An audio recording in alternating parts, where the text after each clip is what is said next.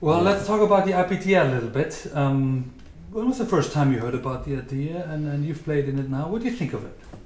I think it's a great format. It's a great uh, idea. Uh, Mahesh Bhupathi came came up to me and my team about a year and a half ago, um, you know, presenting his Mhm. idea and uh, and his thoughts, and I and I thought it was it was it was great for the sport. I think uh, you know tennis is a very global sport that um, has a, has a, a huge reach uh, all over the world.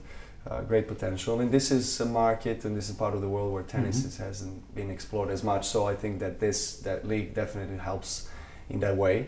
Um, it's a different format. Uh, it's very interesting. It's very dynamic.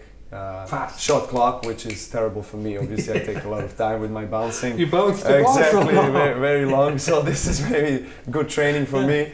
Uh, Yeah. Let's you continue to play. Uh, then you have no ad. Then, but most of all, it's a it's a it's a team Yeah. spirit that you feel, and that's something that we don't get to experience as, as tennis players, uh, individual athletes that often, uh, other than Davis Cup maybe or Hopman Cup. Mhm.